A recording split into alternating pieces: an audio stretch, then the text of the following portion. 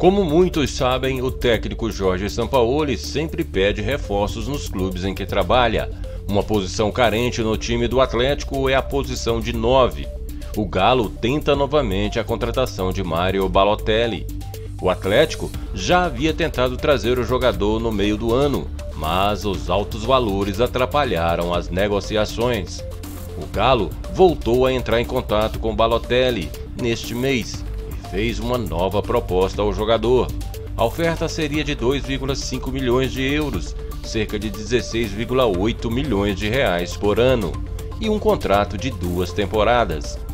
Ao todo, a investida do Atlético pelo jogador seria de 5 milhões de euros, mais de 33 milhões de reais. Sampaoli quer um jogador de lado de campo, inclusive o treinador teria descartado a contratação de um 9 clássico.